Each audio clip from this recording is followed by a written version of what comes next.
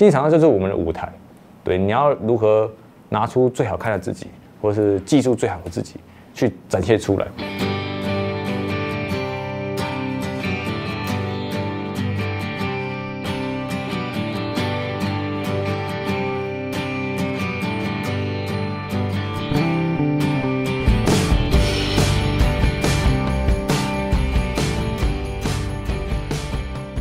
大家好，我是张家泽。那我曾经参加过一届奥运、两届亚运、三届世锦赛。那这次呢，我出了一本新书，叫《永不放弃的跑者魂》。那这本书呢，包含了我的二十一年跑步的生命历程。那希望在这本书里面，能够带给大家一个不一样跑步的一个新的想法跟知识。呃，其实也是受到家庭的影响、家人的影响啊，就是我爸爸跟我哥哥先去参加路跑赛。那每每次到假日的时候，他们就就去参加路跑赛，然后就带回来很多的奖杯啊，还有一些香皂啊，一些赠品。那我觉得哇，好棒哦！假日出去玩，那我却只能补习。那玩完玩完了回来之后，还有带多礼物回来。那我那时候我就跟我爸爸说，我也要参加参加跑步，参加路跑赛。那之后跑了之后，发现说，其实呃，跑步这个运动是我比较喜欢的一个项目，因为它是一个很个人化的。那就是你跑步的过程中，当然是也可以跟很多朋友做交流，但是在跑步的过程中，呃，是可以自己去调整速度，要快要慢，或者是今天要怎么样方式去跑。那跟团体的项目，比如说棒球啊，还有一些篮球的话，他们都是必须要以团体为一个优先考量嘛。所以我觉得跑步的话，比较属于我的个性，就是我可以掌控跑步过程当下我自己所想要做的事情。最难忘的当然还是二零一二年的奥运，对，那那时候比赛的时候，其实只有拿到第七十七名，但是在整个过程之中呢，你发现说，呃，观众对我加油的那个态度，感觉好像我是拿第一名，对，那我觉得这是我一个很很难忘的一个感受，因为在台湾的话，在比赛过程中可能就比较没有观众，那路旁的话也比较没有呃加油声，那。每次当出国比赛的时候遇到这样的事情，我会觉得哎，特别的感觉不一样。虽然很多身份啊，但是我觉得就是都是自己有兴趣的，对，然后也是自己想要去从事的的这些身份。那其实每个人从小开始就很多身份。他可能在学校是学生，那回到家是小孩，等他长大他就变成变成别人的父母亲。对，那可能他喜欢玩铁人，他就变成铁人。那在上，在整个过程中，其实我们人生在二十四小时里面，其实一直是不断转换身份的。所以，因为我很早就了解这一点了，所以对于其他的身份来说的话，我觉得都不是太大的问题啊。只是说生活上你如何去调控那个时间，才是最主要的，最最最主要的因素。呃，其实，在二零一二年奥运回来之后，就。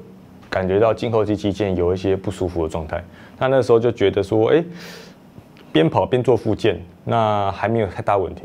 那其实这中间的过程反复了有有两年的时间，呃，在呃香川完二二零一四年香川完归半程马拉松的时候，那时候其实想要破全国纪录，那跑到七公里的时候，发现说，哎，原本不舒服的地方就更痛，然后我就没办法跑。那时候就有就坐救护车到医院去，那时候医医生检查可能就以为是呃疲劳性骨折啊之类的。那回来台湾之后，呃也检检查不出原因，因为胫后肌肌腱刚刚好压在三角韧带的下面，对，所以就很难检查检查出来。他是直到说同一年的就是隔一个月之后，就用意志力硬着去跑世界半程马拉松在丹麦。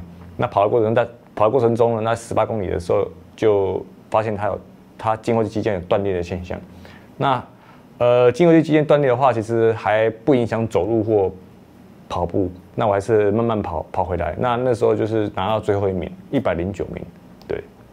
那之后呢，回来台湾就到台大找找找比较知名的医生去做开刀手术。那对于医生来说，这种这种手术，自体移植手术都是算小手术。他只是跟我说，可能往后的复健会辛苦一点。对，那整个复健过程确实是比较无聊，然后也比较疼痛感也很蛮蛮严重的。那呃，因为自己本身还是想要继续能够跑下去，能够回到赛场上，所以还是在那段时间还是觉得说啊这些事情应该要做，所以我还必须把它做完。那因为这是我去下的一个决定，那产生的结果，那我必须把它承担起来。对，基本上学到很很多事情呢。第一个就是呃，如果受伤的话，应该就要立即停止比赛，立即停止训练。那有时候我们会觉得舍不得，对。舍不得就这样停停下，我们训练很久了，舍不得比赛就停下来，或者是呃舍不得休息，对。那因为这些舍不得呢，然后我们觉得我们可以用意志力撑过一切。因为过去我们已经跑了好几场马拉松了，我们也在好几场在疼痛感之下跑完这个马拉松，那以为再一次也可以撑得过去。那很多就是这种舍不得啦，还有对自己的误解啦。还有对于意志力的迷信，觉得我用意志力可以撑过一切，那最后导致一个更严重的运动伤害发生。那这个更严重运动伤害发生呢，就要花更多的时间去承担这个后果。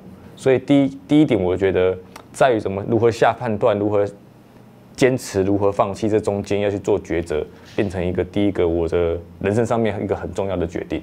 那第二个当然是在物理治疗还有做复健这方面。比如说复健啊，然后会做比较多的核心肌群，还有一些小肌群，还有一些稳定性的呃训练。那这些训练是以前比较少去就接接触的。那以前可能比较多是跑啊，很多人就觉得马拉松就跑嘛，跑就对了。那再来就有加入一些重量训练，那比较多稳定性小小肌群的核心的训练就比较少去缺乏。那这也是可能造成我受伤的原因。那在整个复复健过程之中，确实有把这些训练给加进去。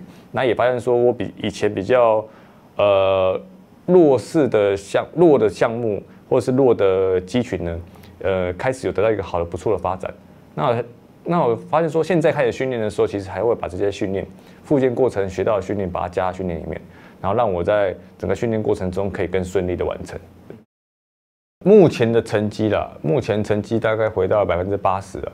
对，然后我都会说，我都会说我现在大二，就是现在是大二的成绩。对，所以觉得应该说自己变年轻了吧。我从二零一四年到二零一八年受受伤以来，我成成绩一直在进步，应该是说从从零开始了，然后我的成绩一直在做进步。所以因为我成绩有进步，所以有信心慢慢堆叠上来，所以我会觉得有可能。对，那。医生会觉得说，大概会到恢复到以前最佳的百分之八十的状态就已经很好了。对，那那在这些评估之下，我觉得会不会回到以前最好的成绩或更好，有可能，但是可能很小。对，那不知道会是多少，因为以前也没有遇过这样这么严重的运动伤害。对，这四年来一直有在进步，那这个信心是有累积起来的。对，然后我我会觉得有机会。但对东京奥运有什么想象？目前，呃，脑袋脑袋里面想的就是如何让真正的文创商创造更多的业绩啊！对我每次都说我要月收入十万，但是我一直没有达到这个目标。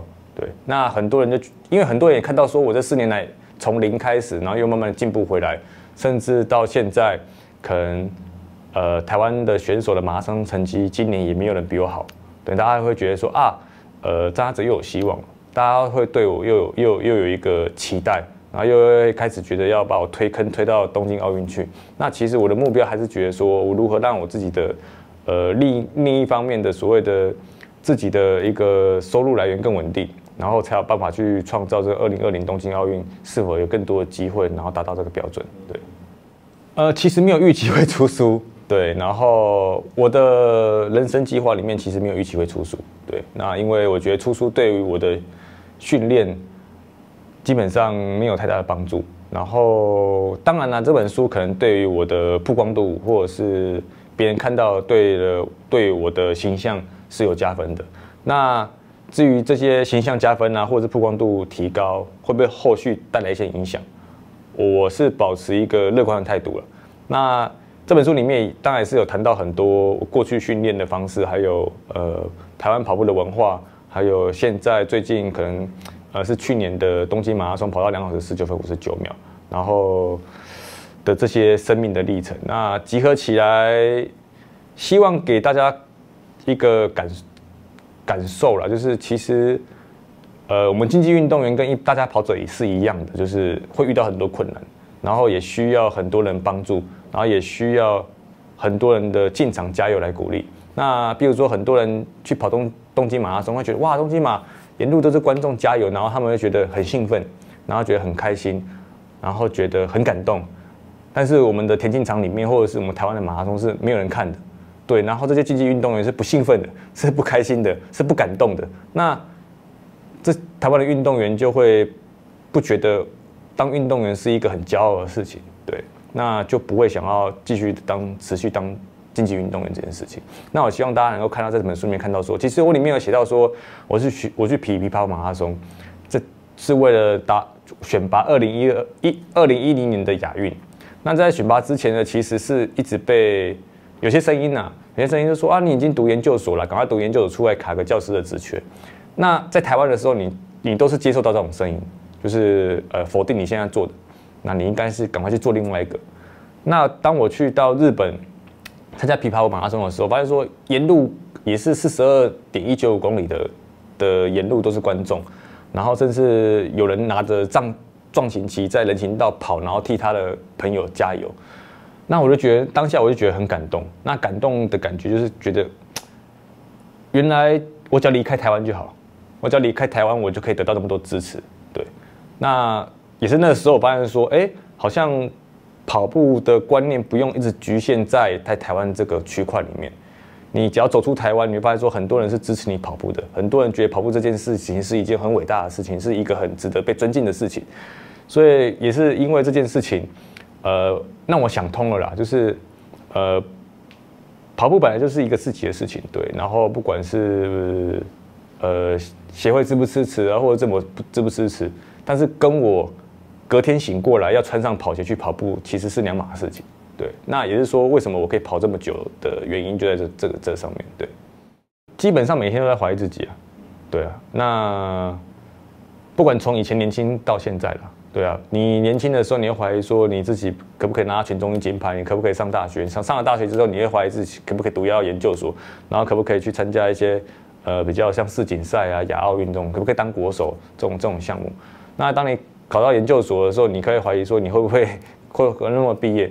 基本上，呃，竞技运动员跟一般人遇到的问题，它大概都是一样的。那很多人说，我们竞技运动员对未来是一个恐惧害怕的，但是我也会对这些竞技运动员说，我们对未来是一个呃恐惧害怕。可是，一般人他们他们对未来也是恐惧害怕啊。其实我们是一样的啊，只是说我们如何吸收更多的知识，吸收更多的资源，然后让未来。我去创造出那个未来。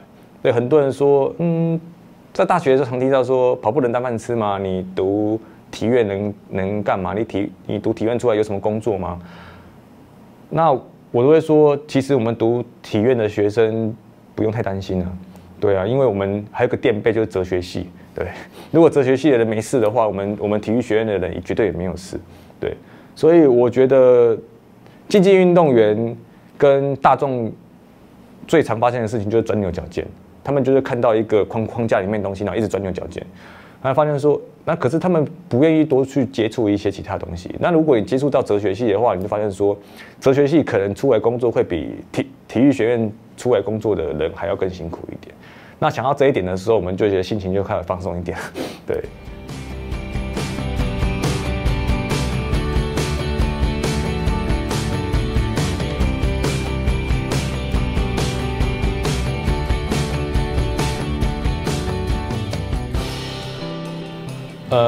呃，其实我一直给年轻的学生一些建议，就是说，我们的观念要改变。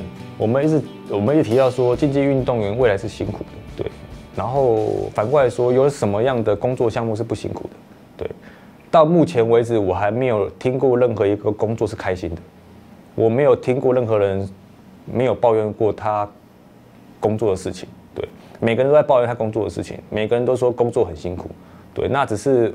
那反过来讲，其实我们竞技运动员辛苦本来就是因本来就存在的，生命本来就是痛苦的，对。那这是一个不没有办法去解决的事情，你只是想办法说如何在这个痛苦里面选择一个自己喜欢的，你比较容易去接受这痛苦。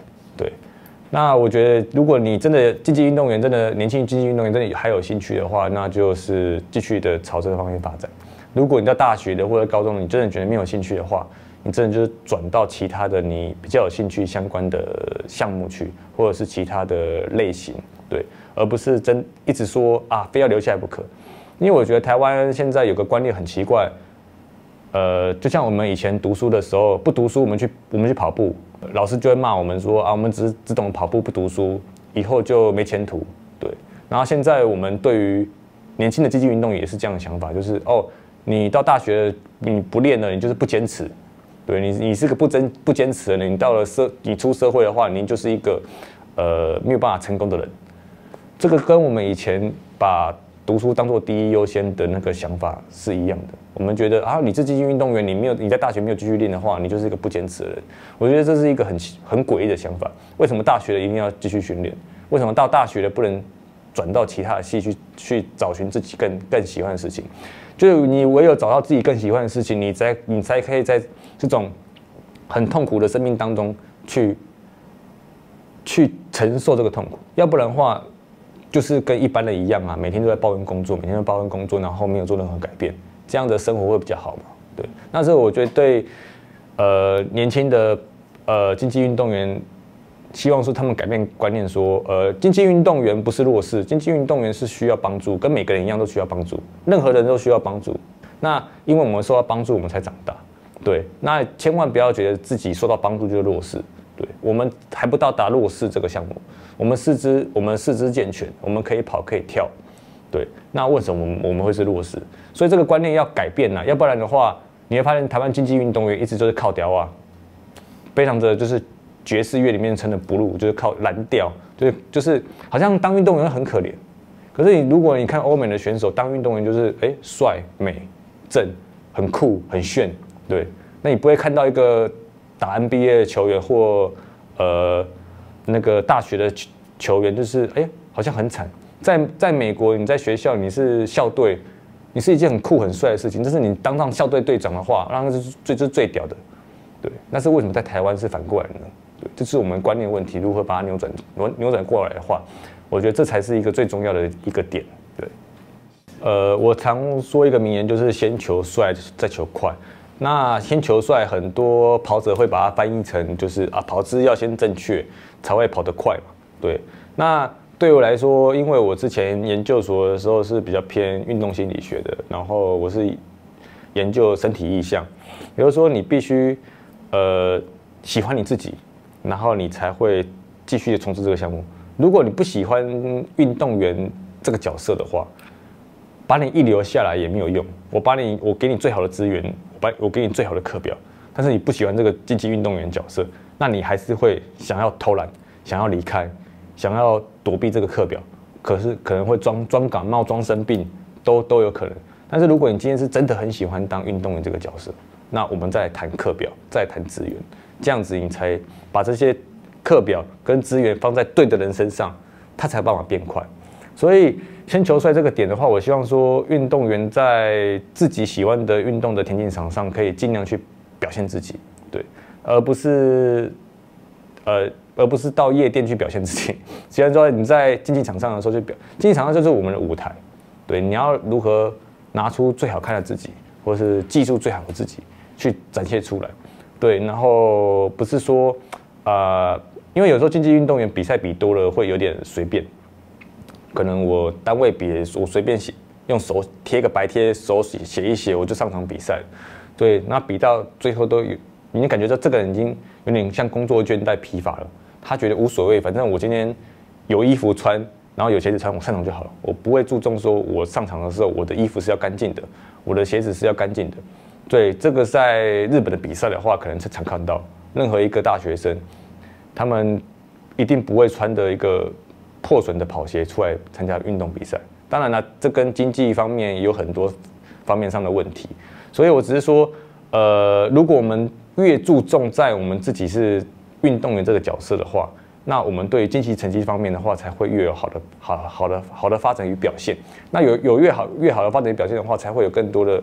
呃赞助啦，或者是其他观众啊、粉丝啊，那才会有更多的一个良性的循环的产生。对，如果是刚刚刚要进入跑步的人，我觉得不用急着去跑马拉松。对，你可以先从记忆上恢复，毕竟我们现在是所谓的文明世界嘛，就是坐的时间比站的时间还多。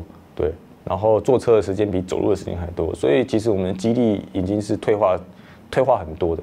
那我们的想法会是觉得我们我们还在小时候，我们可以在街上跑来跑去，好像没有事一样。但是身体的肌肉已经退化了，所以在整个认知上，认知跟身体的肌肉这个形态呢是有有一个差距。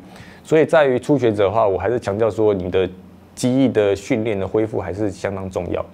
这样子会让你在跑步的时候比较减少你运动伤害的产生，对。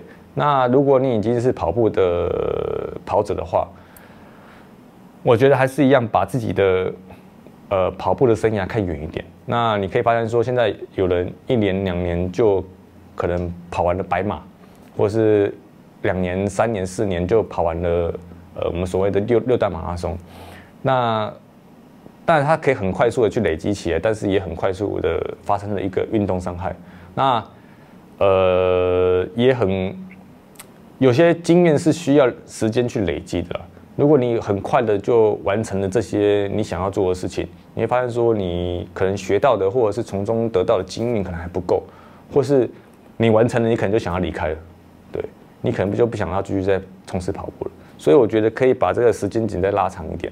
比如说，你从十年再来完成六大嘛，对，或者是十五年再来完成六大嘛，慢慢的去从马拉松里面去累积经验。因为我常说的，知识加经验才会等于智慧。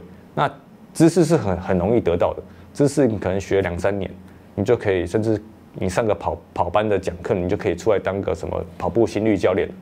但是经验是很难去累积的，你可能需要十年、十五年的时间慢慢去累积。那这才是一个。从马拉松可以学到最宝贵的东西，对，我觉得马拉松教会我很多东西。对，第一点就是如何解决问题。那我们在整个训练过程中，比如比赛，呃，这次跑不好，Why？为什么？那整个训练上一定会有原因，或者是比赛过程中发生什么事情，温度、湿度、赛道。还是我比赛过程中补给的错错误，所以发现问题的时候，我就会去解决这个问题。所以在这个过程中，我习惯之后呢，我就会在生活上，我也是这样子。我发现问题，我想把它解决。那比如说我成立 Live Shoes，那我发现说台湾有很多偏乡的运动员经济是呃能力是比较不足的。那我也发现说。过度磨损的跑鞋会造成下次运动伤害的风险提升。好了，我们发现问题了，可是我也想，我也很想把它解决它。很多人是看到这个问题了，就是不解决的，好像视而不见一样。对他知道哦，偏乡缺乏缺乏物资，然后也知道说跑鞋对于下子有运动伤害，但是不解，他不解决。那我发现说，哎，呃，他解决问题有很很多的方式，你可能呃募款啊，二手拍卖啊，甚至跟。呃，一些厂商做合作了，甚至可以募集，像我募集一些跑者的呃所谓的八成新的跑鞋，然后再清洗之后再转借给我们的基层运动员。所以是有很多方式是可以解决这些事情的，而不是一直强调说政府不支持啊，或者是企业不支持，或者协会不支持。那反过来说，我们自己本身身为一个跑者，我们到底支持了什么？我们到底做了什么？我们到底改变了什么？这才是我觉得，在马拉松里面，我们必须要去处理的事情。像我常说的一句话，就是真正的马拉松在马拉松之后。对，很多跑者会把它解释成，哦，马拉松完之后你要赶快做恢复，因为你还有下一场马拉松。但是我觉得，马拉松跑完之后，其实还有很多事情要去解决。比如说，很多人说竞技运动员未来是很难去发展的，但是我们现在看不到任何一个长跑相关的基金会。去运作去 run 这件事情，可能有一个叫做台中马拉松呃信托，对，那你可以看到很多艺术层面的基金会或人文层面、教育层面基金会，但是关于体育方面的基金会就是确实少之又少。那这件事情却没有人想要去解决它，对，那我自己个人还蛮惊讶的。那也就是说，我的未来也是想要说从这方面去发展。当然，成立基金会不是只有哦帮助运动员给运动员赞助而已，而是如何提倡呃跑步的文化，让更多人去看到竞技运动员。对，那就就就是正如我现在所做的这些呃，不管是行销啊，或者是宣传，所以才有这本书的出现。因为我是二零，我是全台湾跑奥运马拉松是八位里面的其中一位。然后我是二零一二年参加伦敦奥运，但是为什么我是第一位马拉松奥运参加奥运马拉松的选手出书的呢？可是你那之前呢？那其他七位呢？那甚至最接最接近二零一八年的二零一六年有三位马拉松选手，有何敬平，有呃谢千鹤，有陈宇轩。那为什么他们都没人找他们出书呢？对，那也就是说，我们的整个文化推广方面是宣传方面，还有形象方面是需要多加强的，要不然每次比完赛，然后 PO 照片出来，文章出来，然后大家说啊，我怎么不知道这个消息？我好想去看。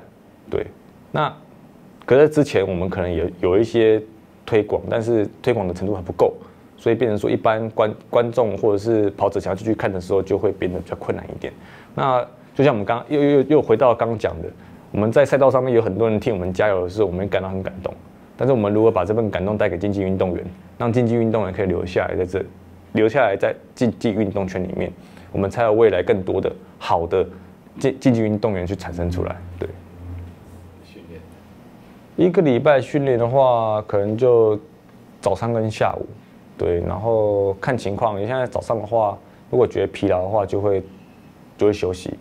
那可能早上练完，上午就包货啦、出货啦，然后下午可能就稍微小睡一下，然后下午就继续接受训练。对，那也就是因为我自己开工作室，也是因为说时间分配上比较自由了。对，如果我去当一般的工作的话，可能我的时间就会被绑住。对，那也是因为我继续想要训练，继续想要从事这方面的竞技运动，所以才会自己成立一个工作室。啊，这一切刚开始，那有人说，那你以前都没有做过这些事情，那现在做会不会觉得就觉得担心什么的？我说担心是会担心的，可是你看到很多跑者，他以前也不是体育班出身的，以前也没跑过步啊，可是他可能花了两年、三年的时间，他就可以跑跑了六大嘛，他可以他他也可以跑马拉松了，所以变成说你自己想不想学啦？因为我现我现在很多人跑友会跟我讨论什么跑步的书籍啊。然后我说，我现在很少看跑步的书籍，我现在看行销的书籍，如何如何如何行销的书籍，我比较我现在比较偏多看这这方面的一个讯息，然后还有如何去从事从商业上的做生意的角度去看事情了对，所以我的生活刚好跟别人是反过来的，对，大家现在开始要跑学跑步，那我是现在还开始要学如何从事做生意，那然后大家会。呃，可能比如说，呃，我的上午是可以处理一些公司的事情，那下午我要去训练。那可是下午的时候有很多人正在上班，他跟我联络，我变成晚上我在吃晚餐的时候，六点半的时候或七点的时候，我才一边要吃饭，那一边回他们讯息，然后变成有时候，呃，事情的话就会多一天，变成下午的事情我要晚上联络，然后变他们他们隔天再做。这就会变得比较稍微慢一点，但是我觉得也没关系，我们就学一些学学一学意大利人的生个生活方式嘛，拖点时间也无所谓了。对，我觉得还是一样的，自己自己的多看一些事情啊，因为我看到很多跑者，我跟很多跑者接触，我在觉得说，哎，他们都可以学跑步了，为什么我们不可以学做生意？对我我们为什么要局限在说，哦，我们只会跑步？对，那很多的时候我们亚亚洲人呢，就就很我们台湾就很急嘛，就这件事一定要一定要做好。那我有有时候看到意大利也不错啊。对啊，那稍微摆烂一点也可以啊，生生命是可以过得去的。对，那我觉得因为看了很多，所以我觉得，呃，是没有自己想象的这么严重。对，其实我好像是很在之前那个盖布雷萨哈西，他也是现在退休了。那他之前传奇就是他五十场比赛没有没有输过一场。对，那当然他他跑步很快，常拿冠军。啊，会被受人尊敬，但是我觉得他最令人尊敬的地方是，他赚了奖金之后，他回去到他的故乡他会他是伊索比亚人，他回家故乡的时候，他会开帮故乡开开电影院，然后开一些学校，办立学校。对，然后为什么要办开电影院？是因为呃，他也在宣传文文化，因为伊索没有没有没有电影院，没有什么的所谓的这些呃影像文化的东西保留下来。然后还有一些像就是培养说，呃，伊索比亚人不是只会跑步而已，他可能会有演演员，对。那现在他也是也是也算经商了，只是他会把很多资源就直接带回到他们的故乡去，对。然后我觉得这是一个我们自己本身必须必须要学的事情，就是我们在跑步上面，然后赚了很多奖金，拿了很多呃赞助费，然后除了让自己过得更好之外，我们是不是可以让整个我们周遭的环境的人可以过得更好，而不是自己呃挂了。很多面上百面奖牌，然后呢，这变得有点孤芳自赏啊！你在家里面挂了一一一两百面奖牌，然后呢，当你过世的时候，你的小孩是还是把它拿丢掉，对吧？我对我觉得整个路跑赛最不最不环保的就是奖牌的这个东西，因为你你纸杯不管用多少，你都可以回收，但是奖牌它是一个混合式的金属，你挂了好，你挂了十年、二十年、三十年，那你你总有一天你会死去啊，那这些奖牌怎么办？你的小孩、你的下一代会留下来吗？一定是丢掉的。那丢掉丢到哪里？埋在哪里？会烧掉？烧在哪里？对，这才是我们觉得未来最严重。我们我们看得太近了，所以未来很严重的事情，其实我们自己是看不到的。